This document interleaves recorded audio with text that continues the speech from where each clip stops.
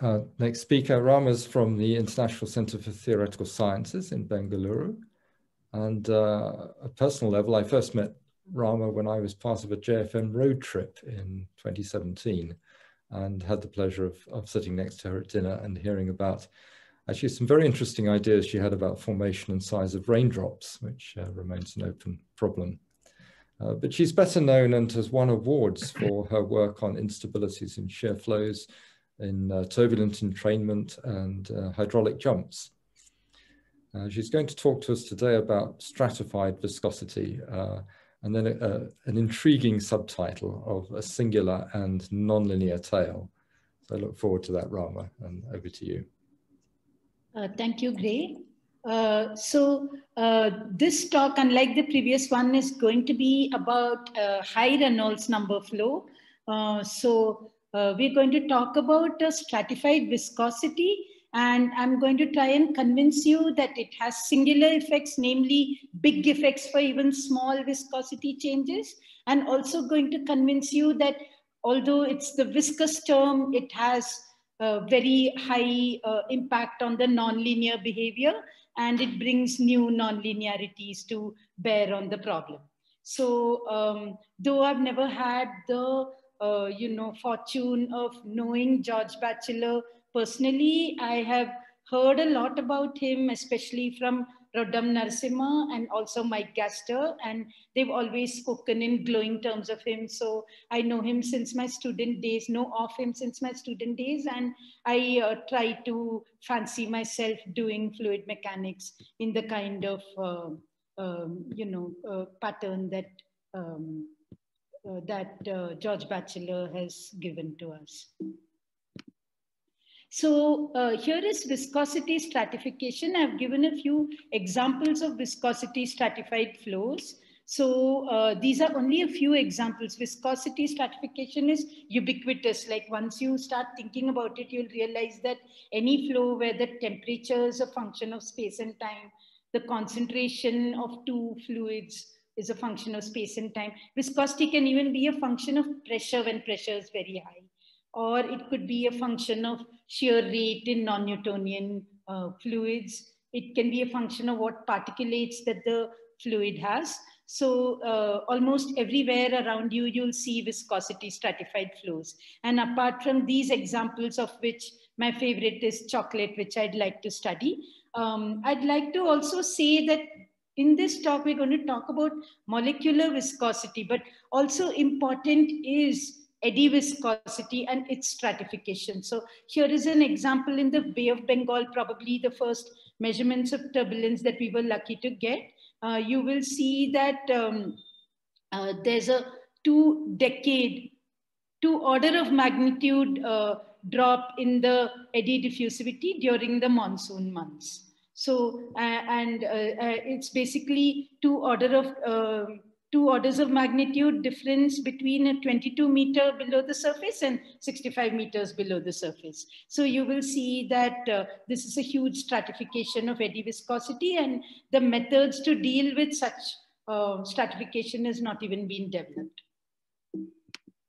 Okay, so now uh, what are the equations that we're going to be talking about today? So we have the Navier-Stokes equations, except that viscosity comes inside the grad term because it's a function of space and time.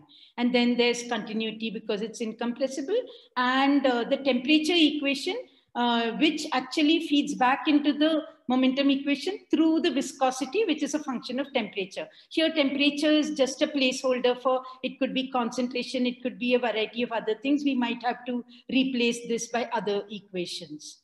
So these are the equations we're going to study. And now in high Reynolds number, it's normal to imagine, and you know, the, one of the standard things you do under the Boussinesq approximation, which is not usually mentioned, but it's taken for granted, is that you take viscosity to be a constant, even though temperature and concentration and so on are changing. So like the uh, argument you may like to give for this is that, uh, uh, you know, continuous viscosity variations might just change the answer numerically, but there's going to be no fundamental change in the uh, answer. So like you need not consider viscosity stratification. The goal of this lecture is to give a resounding no.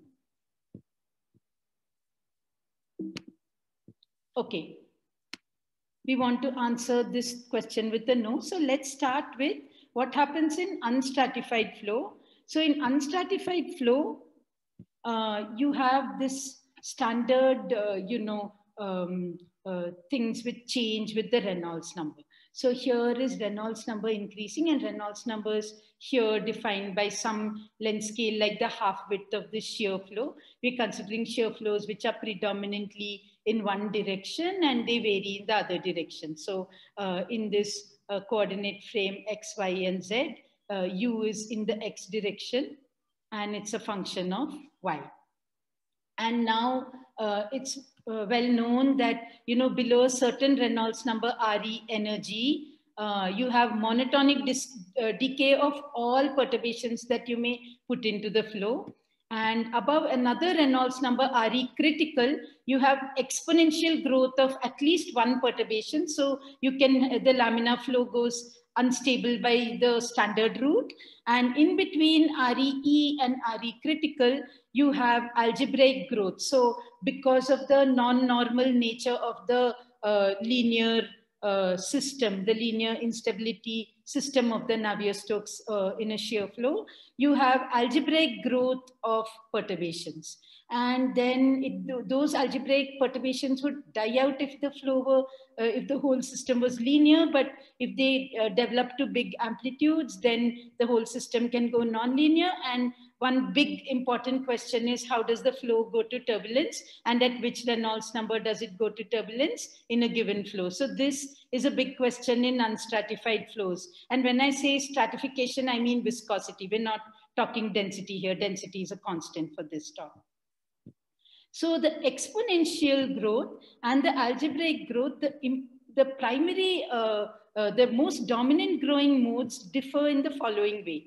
So in one case, they're span-wise independent, as was shown by earlier theorems. And in another case, they're actually stream-wise independent. So they're actually, uh, these structures that you see, the disturbance structures, are actually perpendicular to each other.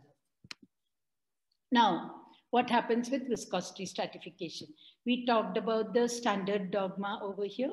Um, with viscosity stratified flow, it's going to be, and this slide is going to tell most of what I'm going to speak about today. Um, this, uh, in viscosity stratified flow, you're going to get um, this critical Reynolds number changing dramatically. So it could go all the way down, very, very far down. And, you know, the algebraic growth can become extremely unimportant in a small window. And you could have exponential growths of instability in a huge part of the Reynolds number uh, regime. And this can go very, very low in Reynolds. So uh, this is because viscosity stratification can act as a singular perturbation. And we will come to what that is. So then, um, the other thing that can happen uh, in this same uh, singular perturbation regime is that you could get a very uh, low Reynolds number instability of a different kind. And here one example is an O instability, which uh, I'm calling for overlap instability. And we will talk about what the overlap mode of instability is. And then uh, it's a mode that we proposed some years ago. And then there can be a, a, normal algebraic growth regime in the Reynolds number and followed by a second exponential growth regime. So this kind of thing can also happen when viscosity stratified uh, flow, in viscosity stratified flow, where the stratification acts as a singular perturbation. So now this is usually typical of two fluid flow where there's fluid of viscosity one and viscosity two being fed in like this, and you have a thin mixed layer in between. And this is, um, but this is not uh, only in such flows, it can even happen in gentle stratification under certain conditions. But we're going to separate, you know, uh, these thin mixed layer flows uh, just for the sake of argument uh, from uh, flows where the viscosity is more gently stratified, such as here's a channel where the temperature is a linear function of space in the laminar situation. So in these two situations, you're going to get entirely different behavior. And here you're focusing on the algebraic growth. And we're going to ask, does viscosity stratified flow do something entirely different from unstratified flow? And we're going to show that it is nonlinear from the word go. There's going to be a very important role for nonlinearity from the word go, uh, as opposed to um, the standard case where uh, nonlinearities, you know, creep in at a later time. So we're going to say, and then the fun, there's going to be other fundamental differences.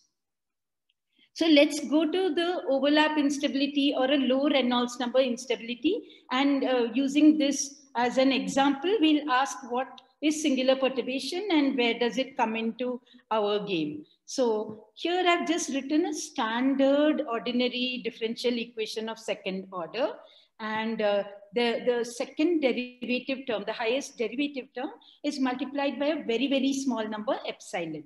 So like you might imagine that because epsilon is very, very, very small, we can throw it away and solve the problem with just these two terms. And you would be right in most of the regime, except remember this, you've now dropped the second derivative, so you can't satisfy both boundary conditions. So at near one boundary, you're going to be extremely wrong. And that's what uh, this uh, singular perturbation thing is about.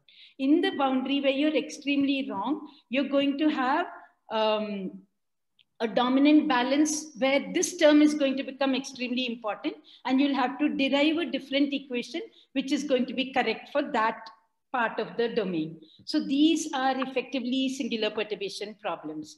And George Batchelor in the first JFM volume in 1956 said this, when the Reynolds number of the motion is large, viscous forces according to our premise are small everywhere except in the neighborhood of certain singular surfaces. So he realized that in these certain singular surfaces, viscosity appears in the dominant balance. So that's what we're going to talk about. And now like we're going to bring in a new twist where there is viscosity stratification. So viscosity is coming inside the grad variable, grad operator. So now, suppose we took the Navier-Stokes, we linearized it in the usual manner you do for Orr-Sommerfeld or and then you put the perturbation in Fourier transform in the x and z directions. In this case, for shorthand, I've written x. And uh, you had a phase speed c. So then like you put this perturbation and plug it back into this and you ask in which regions uh, is viscosity going to be important. Remember that this term is a second derivative term, which is exactly like that term. So like where you have, uh, you know, uh, grad square u, that's going to be important in some regions. And the grad mu, grad u type terms are also going to be equally important in some regions. So then uh, for the unstratified flow, the dominant balance was written down by C.C. Lin in 1944. And uh, he showed that there's a layer called a critical layer. And in this layer, the velocity, uh, the mean flow velocity is of the same order or very close to the phase speed of the dominant disturbance. And when this, um, these two are extremely close to each other, in a little layer of thickness, Reynolds to the power minus one third. And remember that Reynolds is of order thousands. So this thing minus one third is of order 0.1. So this isn't a very, very thin layer. It's actually a reasonably thick layer in which viscosity is going to be important.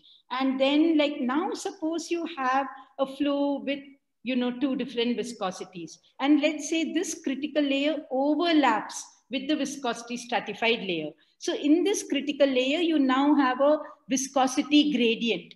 Then the dominant balance is going to be completely changed. And this we could show that once you have a small, even a small difference in viscosity, so long as you place it properly, in the channel, you're going to get this overlap mode of instability. And we're going to see what that is in a minute. But before that, we need to learn about another uh, kind of thing that viscosity stratification does. We all know the Rayleigh-Fjørtoft theorems for inviscid flow, which says that if your you know, mean uh, velocity profile has an inflection point in it, that means u double prime goes to a zero, that is d, d square u by dy square goes to a zero somewhere. And at that point, if u prime is at a maximum, then there is an instability. Now, this thing is a very, very good thumb rule for viscous flows as well. So this happens in viscous flows as well. So where you have, um, you know, if you have a profile like this, the thumb rule is it's way less stable than a profile like this. And when does that happen? So if you have a pressure gradient driving the viscous force as it is in the mean flow, and this is the standard, uh, you know, um, balance between pressure and the second derivative of velocity in an unstratified flow, you now have a new term. And depending on the sign of this term, you can either make this profile closer to inflectional or far away from inflectional. And the closer it goes to inflectional, you're going to get uh, more uh, instability. So then uh, in liquids, if I have a cold wall, then the viscosity is higher near the wall and I would get a profile like this. So remember, cold walls are destabilizing, hot walls are stabilizing. And this kind of thing was uh, known in lubricated pipelining decades ago where they tried to put a less viscous fluid to stabilize or, you know, to uh, run this flow with uh, less pressure gradient. And the opposite is true in air because air uh, uh, as viscosity increases with temperature. So you want to actually to stabilize, you want to cool the wall. And this also has been studied for decades as a kind of way of stabilizing boundary layers. Now, let's go and look at the results for the overlap instability. So here we have, you know, a core annular flow of two miscible fluids, viscosity 1 and viscosity m.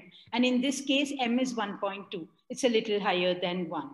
So the viscosities differ by a modest amount. And there is a small layer of thickness delta at a distance h from the lower wall uh, and the same at the higher wall.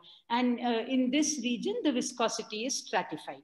So now we'll keep moving h down these things. And you'll see that when h overlaps with the critical layer, you start seeing this overlap mode of instability. And this is at a very, very low Reynolds number.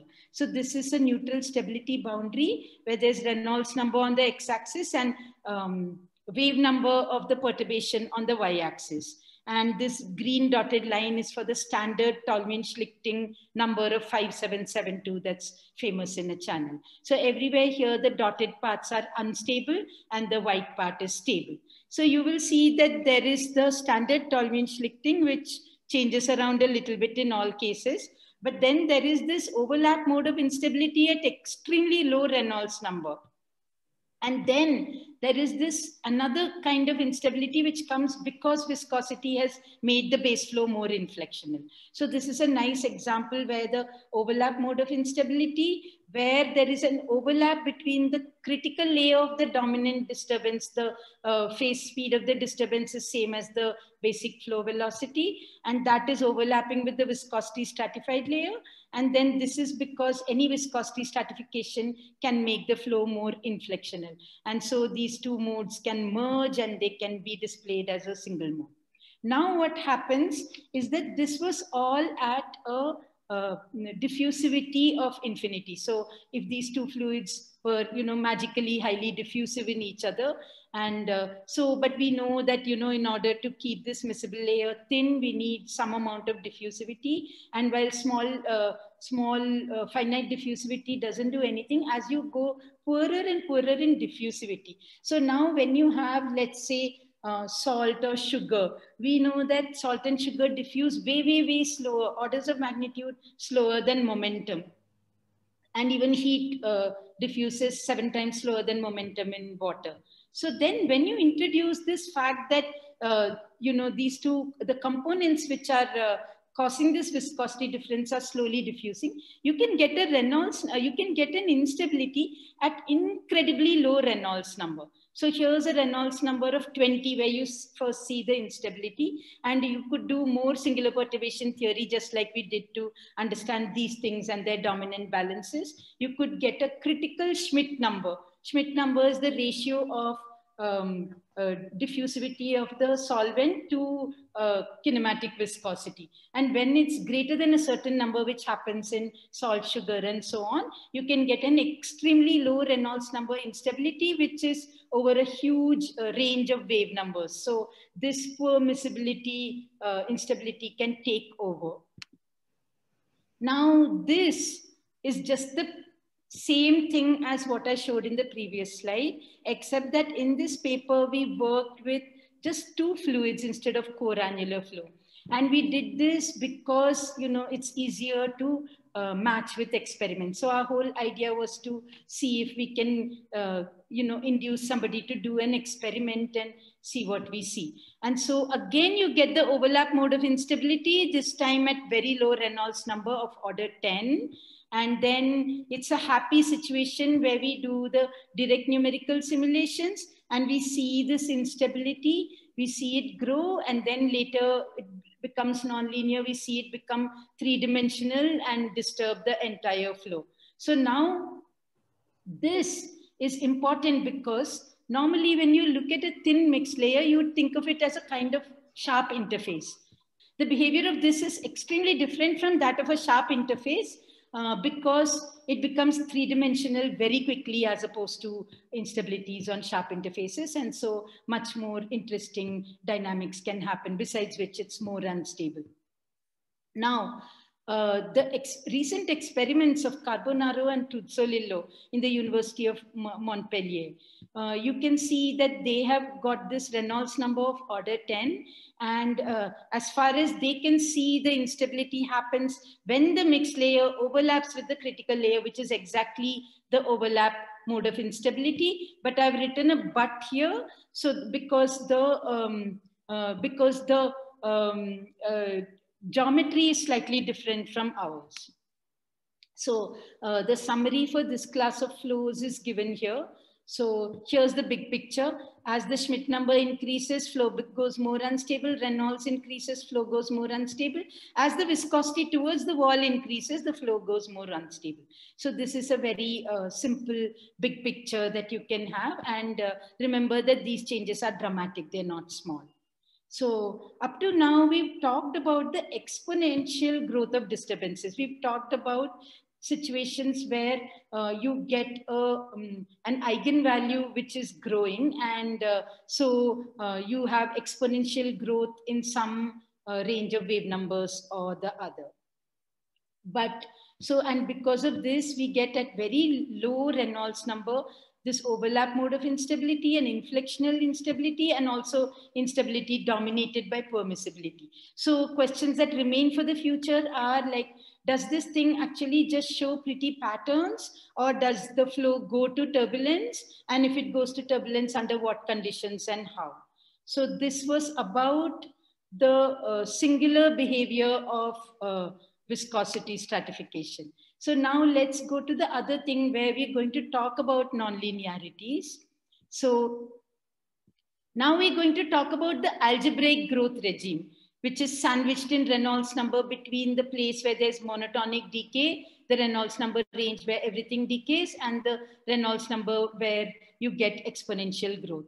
And this is very, very important in shear flows because most shear flows go to turbulence in this regime. They go to turbulence when there's no exponential growth of disturbances. And beyond a certain Reynolds number here, which is a question mark, um, there are at least two attractive states possible. So you could have a laminar state and a turbulent state. Both of them are attractive and there's a basin boundary dividing them. So both these states could be attained in a range of Reynolds numbers. So the question is what happens to all of this when you put in viscosity stratification. And we're going to talk about a heated flow, but uh, you know, our arguments are generic. We're going to talk about a channel flow where you have a hot wall and a cold wall. So this is the geometry we'll be discussing for the rest of this talk. So we're going to ask, is viscosity stratified flow more nonlinear? And answer yes. And ask, is the energy growth fundamentally different? And answer yes. So now when you do a linear stability analysis of this and you get the algebraic growth, the transient growth, and you can you have ways of optimizing for the transient growth and finding what is the maximum transient growth possible.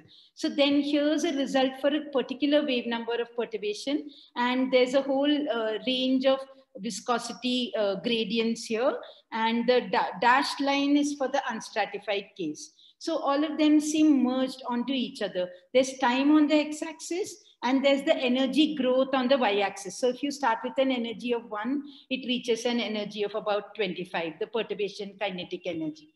So you see that stratification didn't do too much. So your first instinct would be to say, oh, uh, viscosity stratification may be important for moving the critical Reynolds number in a certain range of situations. But when it cannot move the critical Reynolds number, it does absolutely nothing.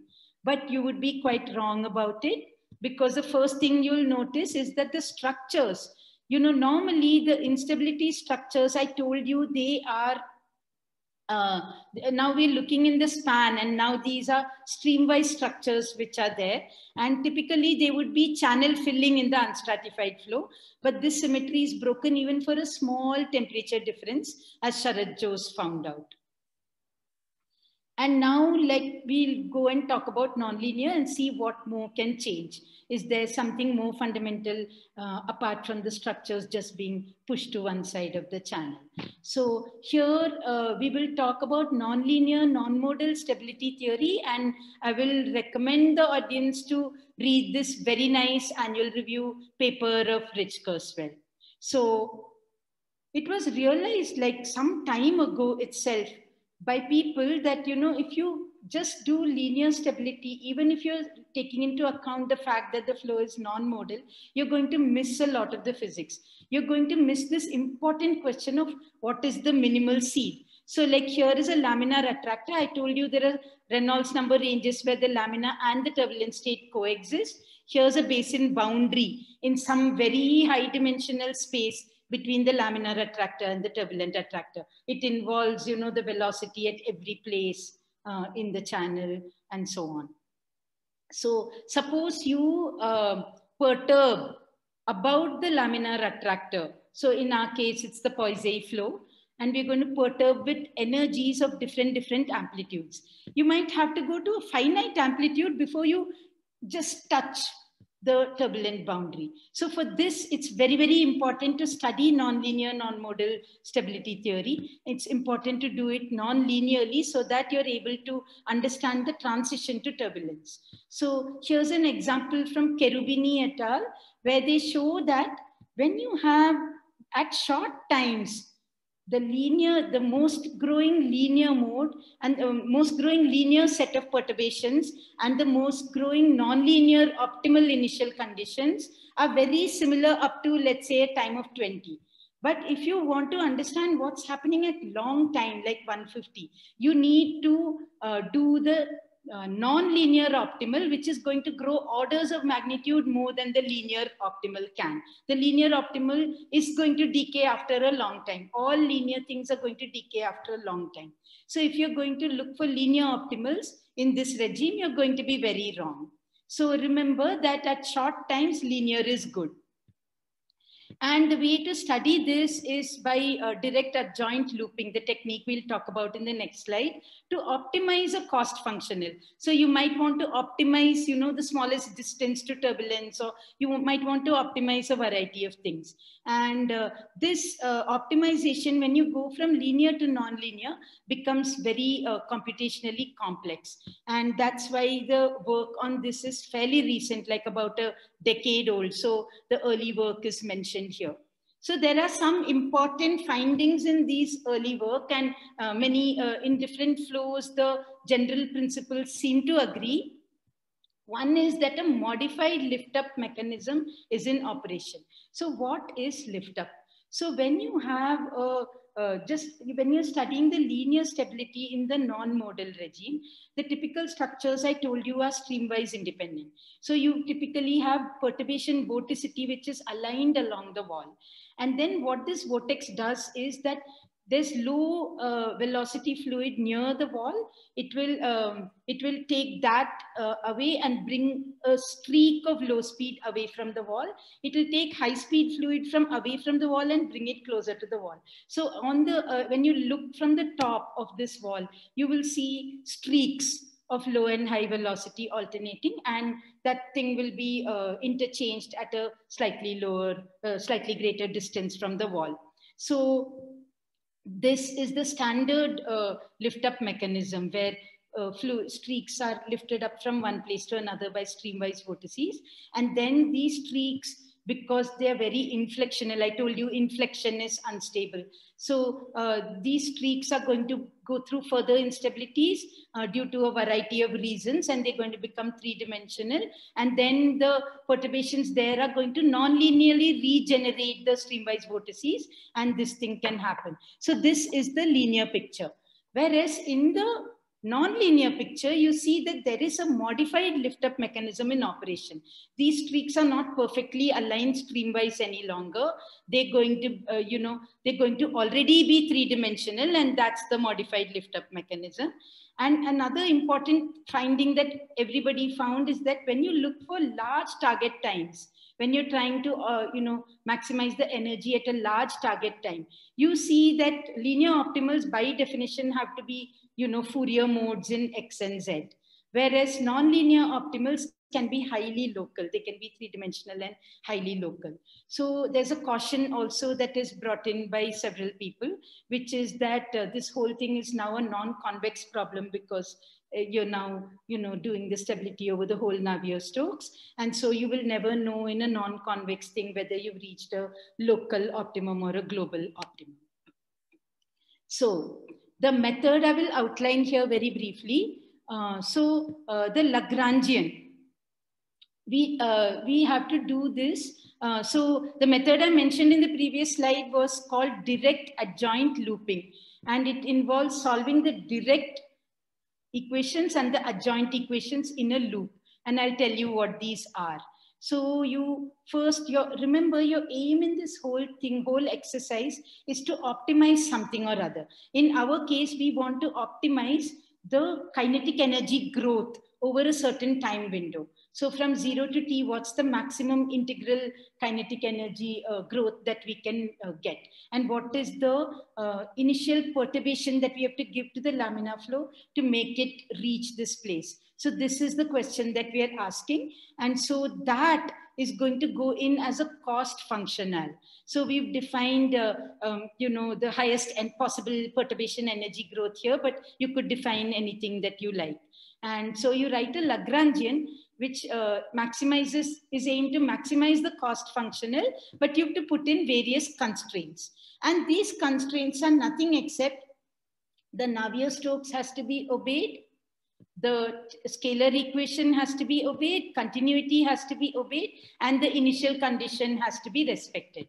And so then you have Vi, tau, and Q, which are just Lagrange multipliers it turns out that these Lagrange multipliers are nothing but the adjoint variables. So we'll call the Navier-Stokes and the companion equations, which we integrate from time equal to zero to some capital time t as the direct equations. And you will see that these now contain new terms due to the viscosity stratification. And then by uh, setting various uh, vari variations of the Lagrangian with respect to the direct variables to zero, we can get equations for the adjoint variables. And these are those equations. So these are now derived for a viscosity stratified flow by us. And we see that uh, there are these new terms coming into the adjoint equations as well. And they involve uh, uh, viscosity perturbations from the direct case and they involve velocities from the direct case. So uh, apart from that, they're uh, linear in the adjoint variables. So these are the uh, uh, adjoint uh, equations for viscosity stratified flow. So how do you solve them and why? So you're solving them to obtain the best energy growth you possibly can. So first you let's first you fix the initial perturbation. And here we don't know what the initial perturbation should be, so we've just put random noise. And so with this random noise, you solve the direct equations from time equal to zero to time equal to capital T. And as I said, store the direct variables as you go along because you're going to need them on your way back. And you can do this in many clever ways. Then once you've reached the time T, the adjoint equations have given you the final conditions for the adjoint variables. And these adjoint equations have to be now solved in backward time. The reason is that first of all, they're only well posed in backward time because the diffusivities are negative. Diffusion terms are negative uh, as compared to this, as you can see. So these are well posed in backward time. So you solve the adjoint equations in backward time uh, from tau t, time equal to t to zero. And now you'll reach time equal to zero where you'll get the adjoint variables. These adjoint variables are going to help you improve your guess, improve your guess for the initial condition, which is going to give you the best growth.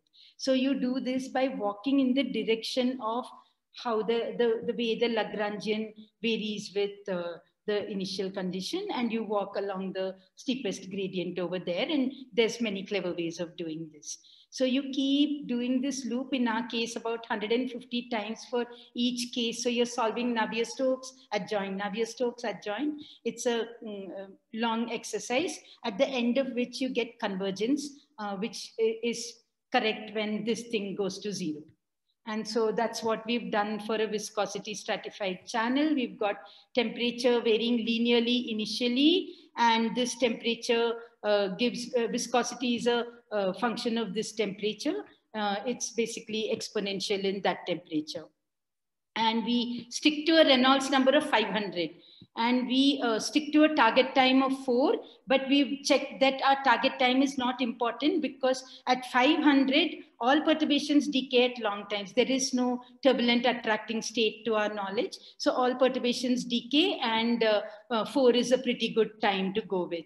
And this, as I told you, is the cost functional, the integral of the disturbance kinetic energy uh, scaled by the init its initial value. So um, since Reynolds equal to 500 seems to have no uh, attracting turbulence uh, state, we are expecting everything to decay at long time. But we want to understand the nonlinear evolution of uh, perturbations.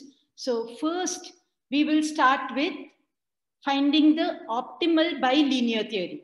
Finding the optimal bilinear theory is far, far easier than doing this direct adjoint looping because you can you have uh, you know um, singular value decomposition and straightforward ways of doing this. So we, uh, but we employ our nonlinear direct adjoint looping to validate it and to make sure we're getting the same answer.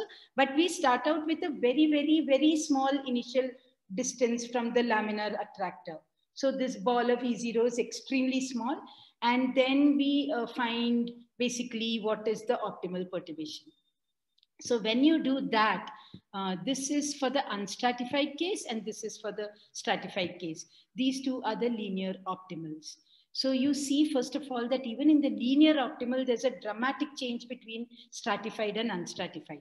First of all, there's complete loss of symmetry. And this happens even at uh, small temperature differences, like I said. Everything is quiet at the cold wall. This is the thing that you first see. Remember that I said a cold wall is destabilizing from a Rayleigh-Fjørtoft theorem point of view, from the inflectional point point of view. Whereas here, like there's no action at the cold wall. So you see that uh, this thing is uh, viscosity stratification can behave very peculiarly.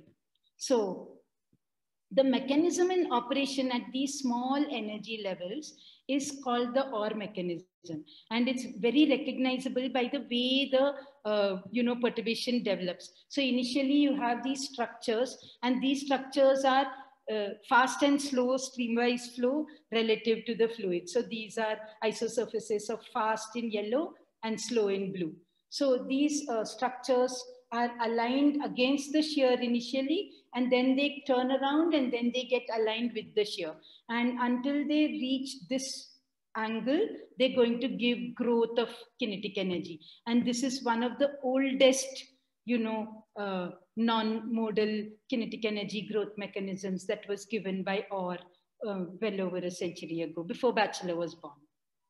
So uh, this is how the flow goes. And remember that we started with a very, very small initial energy. We're going to see what happens if we start with a larger initial energy. So now let's start with a larger initial energy.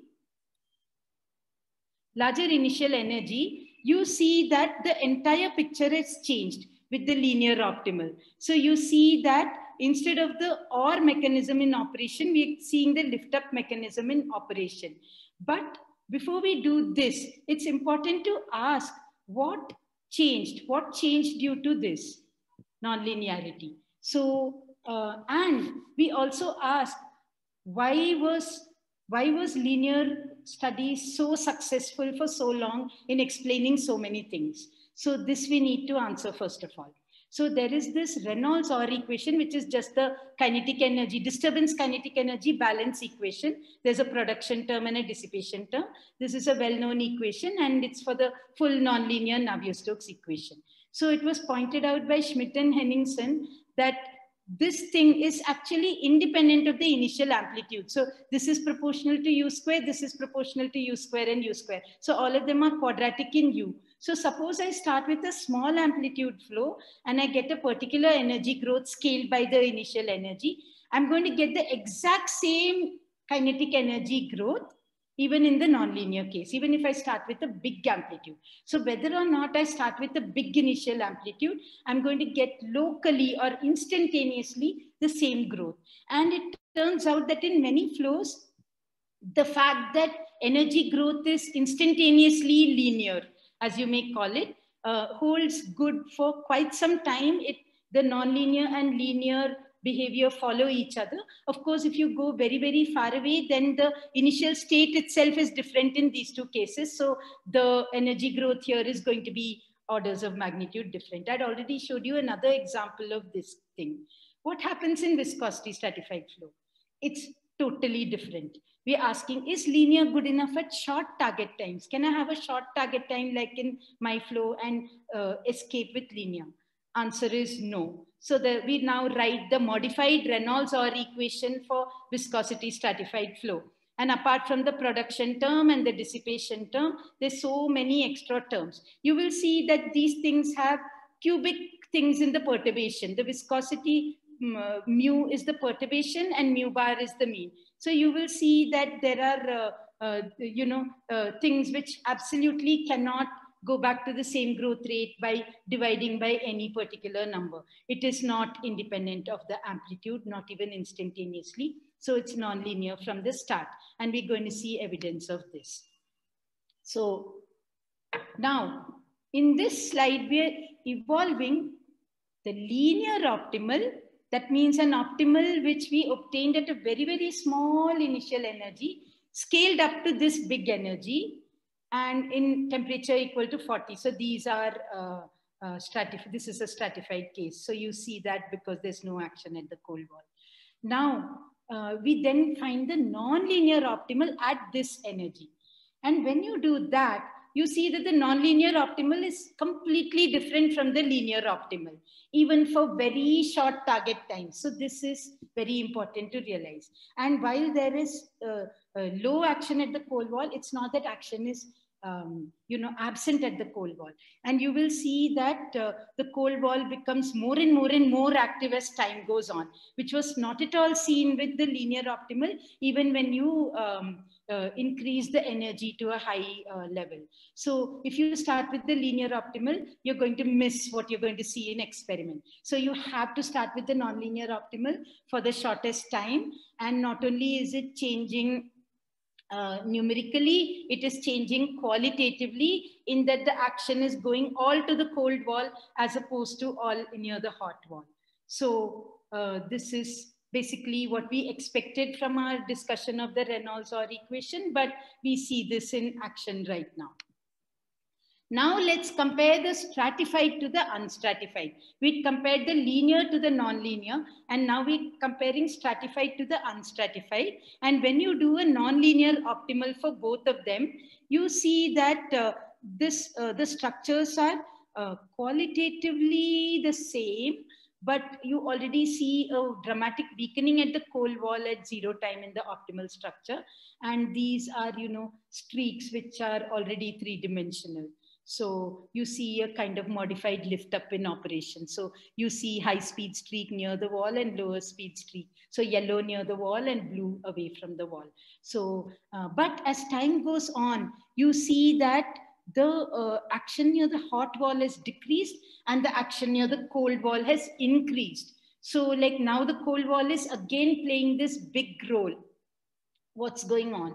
So uh, you can see uh, also you one thing we'll notice is that the structures are not very localized and that's because the target times are small. So there's again a big loss in symmetry, but it's a different kind of loss in symmetry between linear and nonlinear.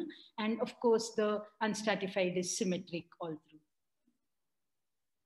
So in order to understand this, and that's the last thing we will do, uh, we will look at the top views at four different heights in the channel. And this is the cold wall and that is the hot wall. And the temperature difference here is 40 degrees. So at time equal to two, see what's happening on the cold side and the hot side. So the reds are faster fluid than the average and blues are slower fluid than the average. So you see that there are these wavy streaks, three-dimensional streaks on both sides, except that the wave numbers seem a bit different. And this seems a bit stronger than the other one, which it will be on the hot side because the shear is greater on the hot side. So you're going to get big structures on the hot side. So initially the hot side is more powerful than the cold side. And um, so you see uh, basically this is in the central part of the domain and everything I've said is accentuated near the wall. So you see stronger structures near the hot side as compared to the cold side. So uh, I'm sorry, I'm stopping a little bit because I'm not able to see too well. Uh, so then um, you have this uh, um, interesting new thing in these streaks, which is absent in unstratified flow. And the interesting new thing is that there is a viscosity perturbation. You see that the perturbation, high viscosity, the fast fluid on the cold side. On the hot side, the high viscosity is neatly aligned with the, the high speed is neatly aligned with the high viscosity.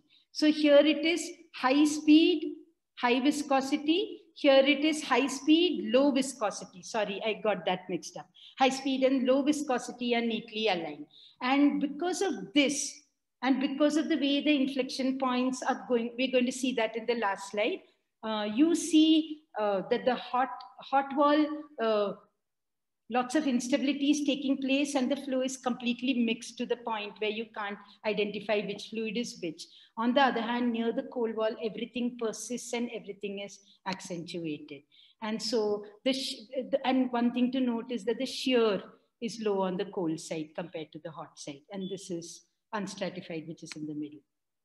So basically what's happening is first there's stronger lift up near the hot wall, stronger inflection near the hot wall. And because there's stronger inflection, the flow gets perturbed more easily and it goes into a mixed thing. And uh, whereas near the cold wall, uh, the inflection is weak at first, but becomes stronger because of this thing because of the way the fast fluid is aligned with the high uh, viscosity.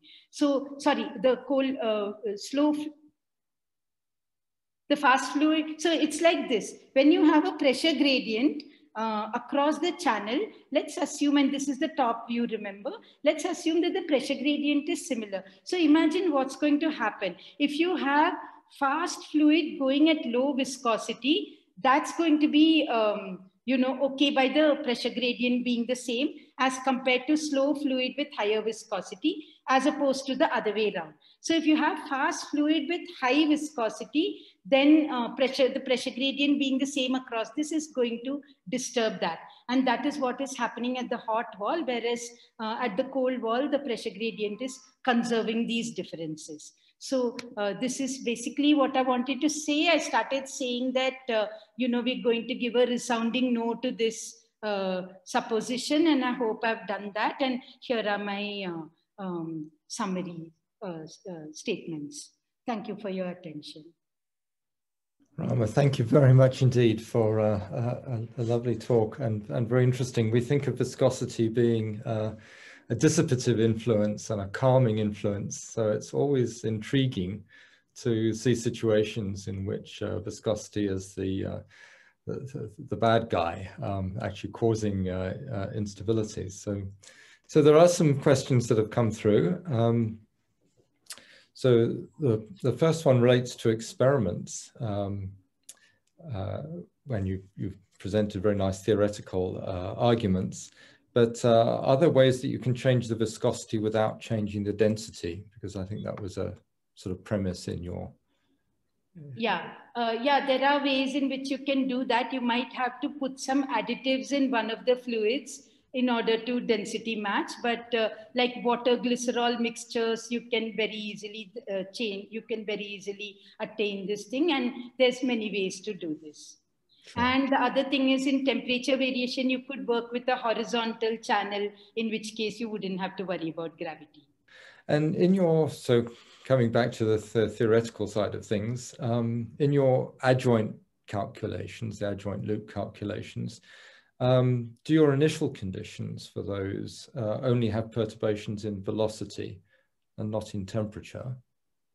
And, yeah, and so in, in our particular case, we set the initial temperature perturbations to zero. This is a very, very good question um, because there is uh, no participation, direct participation of the temperature in the energy. So we could, in principle, put another perturbation and we would actually get slightly different answers. At least the answers would be different quantitatively. So there is no good ideal uh, you know, temperature condition. So we, we might want to go through the whole gamut to see which increases the, uh, you know, kinetic energy the most. However, if you have a gravity driven case, and this is the case we're studying right now. So in this channel, we've also put a density difference. We've recognized that temperature produces a density difference. And when you study that, there is uh, the, the correct way to look at it is like try to maximize for a sum of kinetic and potential energy because these things can keep getting transferred between each other.